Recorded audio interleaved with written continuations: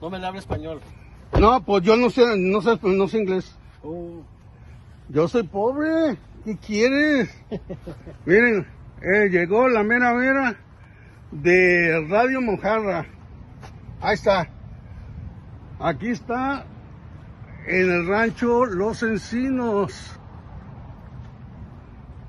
Vamos a ver qué pasa con este hombre. A ver qué va a suceder. Pues no. Pásele, amigo. sí, a ver. Mire, tome asiento por favor, porque ahí aquí es donde se llegan las visitas. Ah, gracias.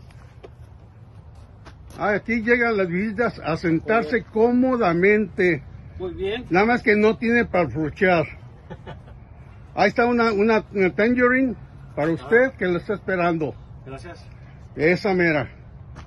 Es una tangerine eh, orgánica de aquí del rancho. Ok, muy bien. ¿Cómo ve usted? Está bien bonito aquí. Se le hace, bueno, le diré como dice Lionel, pobremente. A mí me gusta lo plano. A mí no me gusta lo... sí, A mi abuela me decía, por favor, no compres enfrente de un cerro. Entonces, No se usa nada más que para darle de comer al ganado. exactamente porque no, no hay forma de, de sembrar nada. Claro.